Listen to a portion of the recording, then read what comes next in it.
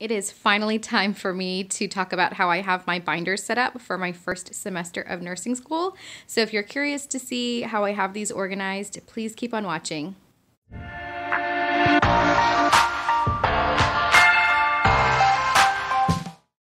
So, full disclosure, the idea for this binder setup is from Nurse Mo. She's the owner of Straight A Nursing. She also has this book that you can pick up on Amazon. It's not a big book, it's a really easy read, but it is packed full of great information, especially if you are just about to start nursing school. And she talks about this binder setup in detail. So, I would highly recommend checking this out. Um, she talks about like how to prepare for nursing school ways to get through nursing school in one piece with your sanity intact. It's a really, really good book with tons of great information. So, as far as the binder setup goes, there are two two inch binders and then one four inch binder. You could do like four or five inch, but you want it to be a pretty large size binder. For um, my particular ones, these are um, Better Binders by Staples. That's what they're called, the Better Binder. And they are from the line called Pep Rally. That's where the pastel pink and purple are from.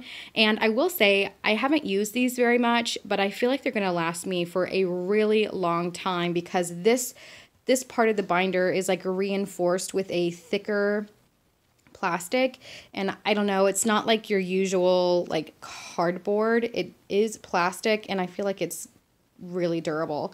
So anyway, so these are two inch binders and then this one is a four inch binder. Now I already had this one and um, it's not as cute as my other two, obviously. However, um, those are pretty expensive.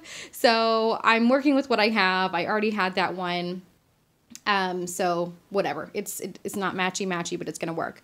So the way it's organized is I have a daily binder, a clinical binder, and what's referred to as the mega binder.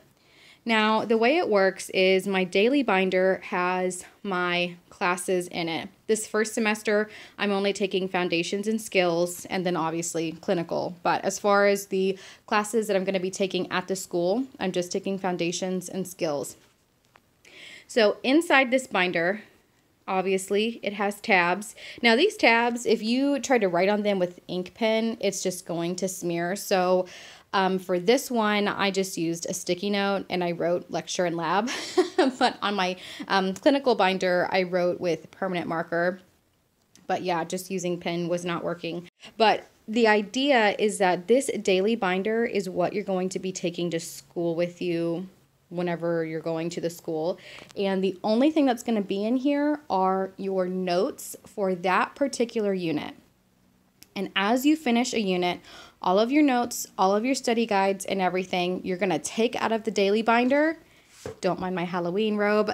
you're going to put it in your mega binder. The whole idea here is so that first and foremost, you're not always carrying with you notes from a previous unit. The only thing that should be in this binder at a given time is notes for the unit you're currently working on.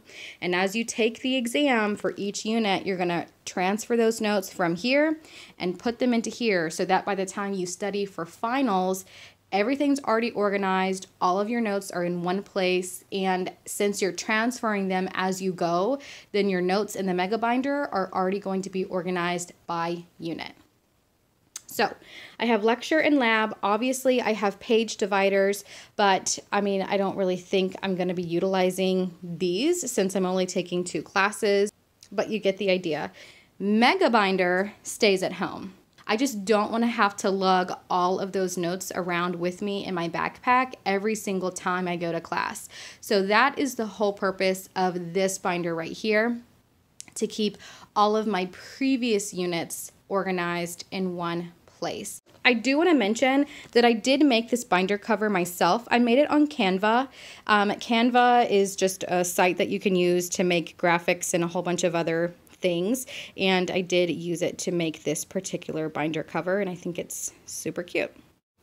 All right, now let's talk about my clinical binder. Everything for my clinical will stay in this binder. I don't intend on really moving anything into the mega binder until like the end of the semester and I start a new clinical. Does that make sense? So I really don't plan on transferring papers in and out of here for at least the entire semester. That's kind of the plan right now, but if that changes, I can obviously update you guys with what I decide to do. The way this binder is organized is just with my different tabs up here. Again, these tab titles are suggested by Straight A Nursing, so that's just what I went with. So we have um, care plans, clinical paperwork, projects, and miscellaneous. If I need to add more tab, um, ideas, you know, I can put them right here, but I really think that's going to cover the majority of my clinical paperwork and I can just put it in here as I get it. But yeah, that is how I plan on keeping myself organized throughout this first semester. Now, if changes come up and I need to do some revisions or something like that for the following semester, or if I really find that this is just not working for me and I have to, you know, change what I'm doing, I will definitely give you guys an update. But, you know, I think for now, I really have a good feeling about this setup. I think it's going to be really helpful.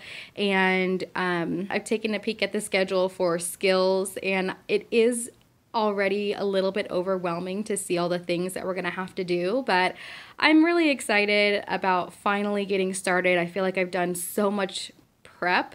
Um, and I'm I'm just ready to get the ball rolling and and start getting in those classrooms and doing hands-on stuff. But that is what I have for you guys today. I hope that you found this video helpful or that you were able to get some ideas if you wanted to kind of change your organization setup or you're just getting ideas for whenever you do start. Thank you guys so much for watching and I will see you in my next video. Bye.